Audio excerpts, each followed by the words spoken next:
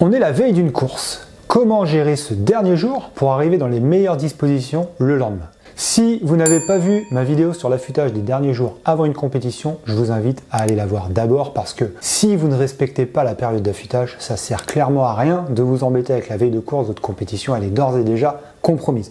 Mais si vous vous êtes entraîné avec sérieux et que vous êtes rigoureux dans la dernière ligne droite, la veille de course est très importante. Alors soyons clairs, on va rien gagner en gérant bien la dernière journée, mais on peut perdre très gros en faisant n'importe quoi. On va d'abord parler entraînement. Comme disait Eddie Mitchell dans sa célèbre chanson, la veille d'une course, on se fait une dernière séance.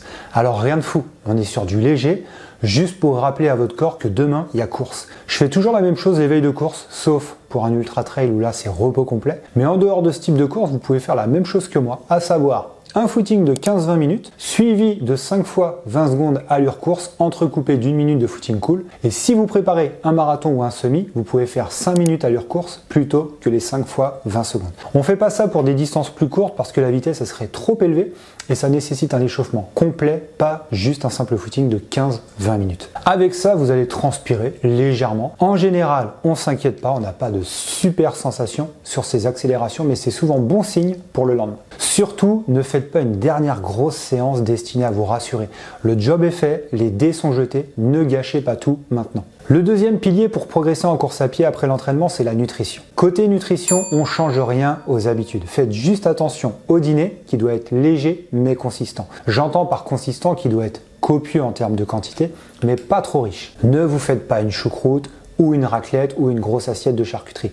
Personnellement, voilà ce que je fais à chaque fois. Une collation dans l'après-midi, en général fromage blanc avec du muesli ou alors un bol cake ou du pain grillé avec du beurre, et le soir une bonne assiette de riz basmati sans exagérer sur les quantités pour les bons glucides, avec un peu de beurre végétal pour les bons lipides et un morceau de fromage ou de yaourt pour les protéines, et c'est bon, il n'y a pas besoin d'en faire plus, vos stocks de glycogène y sont faits, et manger 500 g de pâtes la veille de la course c'est complètement inutile parce qu'elles n'auront pas le temps de se transformer en glycogène, elles vont juste vous alourdir pour la nuit. Surtout, on évite l'apéro chips, saucisson et biscuits coca évidemment. Et au goûter, on se fait pas des crêpes au Nutella, mais ça normalement, vous êtes habitué, on est au clair là-dessus. Je vous parle de la nutrition d'avant-course dans une vidéo dédiée que vous retrouvez dans le coin par ici. Et puisqu'on a parlé nutrition, on va aussi parler hydratation. La veille d'une course, comme tout au long de l'année, gardez une bouteille ou une gourde d'eau avec vous et buvez régulièrement. Je ne sais pas si vous la voyez, ma gourde, mais elle est juste là. Elle est jamais très loin de moi. Pour savoir si vous buvez assez, c'est assez simple. Il suffit de regarder la couleur de vos urines, qui doivent être jaunes très pâles. Si elles sont trop foncées, vous buvez pas assez et vous avez trop de toxines à éliminer. En revanche, si elles sont trop blanches, qu'elles sont trop claires et que vous allez aux toilettes toutes les 30 minutes, c'est que vous buvez trop. Et ça, c'est pas bon non plus. Pourquoi? Parce que ça dilue les minéraux dans le sang et on sait que ça peut mener vers l'hyponatrémie qui représente un danger pour la santé à cause d'un excès d'eau par rapport au sel contenu naturellement dans le corps. Donc ne pas boire assez, c'est pas bien, mais boire trop, c'est pas bien non plus. On cherche le juste milieu. Le troisième pilier pour bien courir après l'entraînement et la nutrition, c'est le repos. La nuit la plus importante de votre semaine de compétition, c'est celle de l'avant-veille. Donc pour une course le dimanche, c'est la nuit du vendredi au samedi. Si vous ne dormez pas bien le samedi soir, c'est pas bien grave et ça n'aura que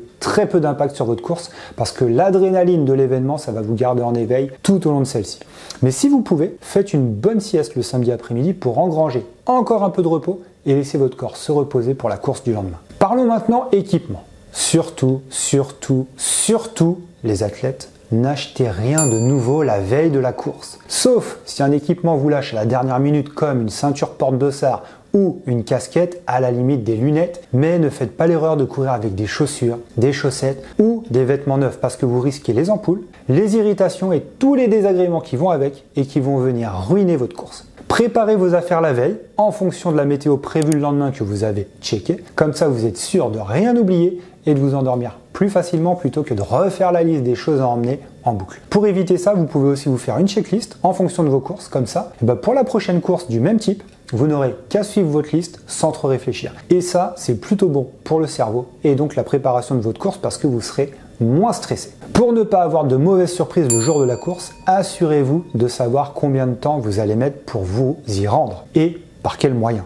Vélo, à pied, en courant, en voiture, en transport. Prévoyez d'arriver sur place une heure avant la course en prenant en compte le temps pour vous garer si vous êtes en voiture qui peut changer du simple au triple en fonction du lieu de votre course. Une heure, ça vous laisse le temps de retirer votre dossard, de vous échauffer une bonne trentaine de minutes et de vous préparer pour la course, d'enfiler votre tenue.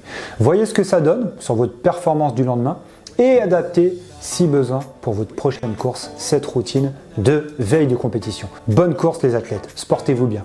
À très vite. Ciao ciao.